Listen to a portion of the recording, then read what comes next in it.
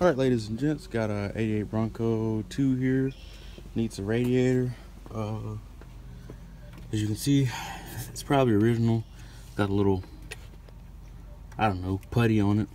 And it's leaking down the side, whatever, you know, due to age and uh, got a few leaks, whatever.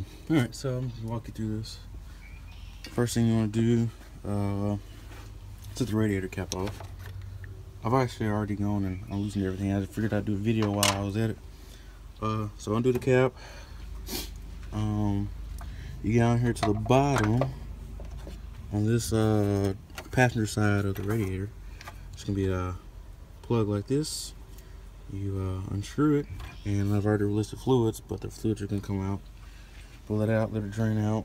Set it to the side. Here's the new radiator. Everything's plugged off.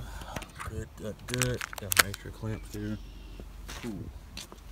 Uh, next thing you want to do is get this fan shroud out.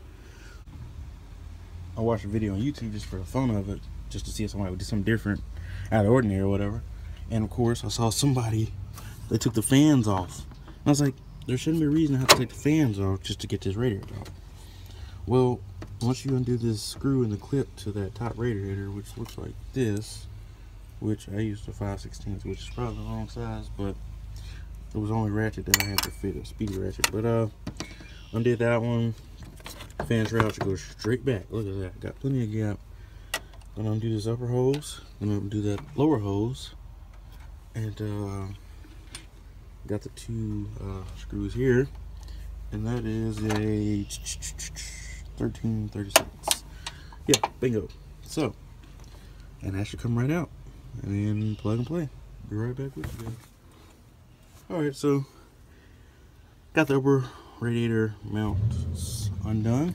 Cool. Got the top hose done. Cool. It was easy. The lower one's a little more tough. It's a bigger hose, so it's a little more tough. So you always have to have a little persuasion tool around, which was a flathead. Boom. Just use pry it. Boom, boom. You know, a little bit like that. So, and put a wiggle wiggle, and she should come right off like that. Cool. So, there goes that. Alright, and like I said, you're going to lose that fluid. So be for sure to, uh, you know, replace that with uh, some new, fresh uh, antifreeze. Antifreeze, sorry. Alright, well, that should come right out now. So let's get fan trail back. And ta-da.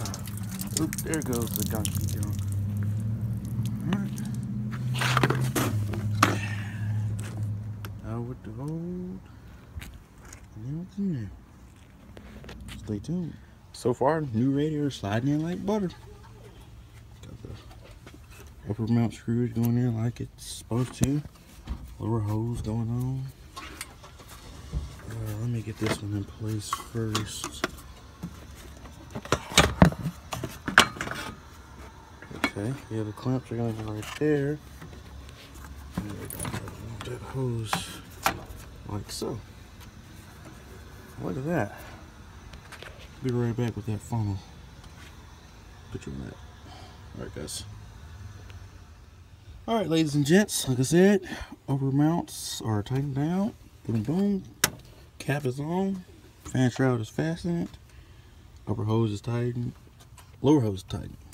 Now, don't forget, time to fill it up with some fluids, guys. Fluids. We lost a lot of fluids. If I can get this thing off, here we go. And that'll be end of that one, guys.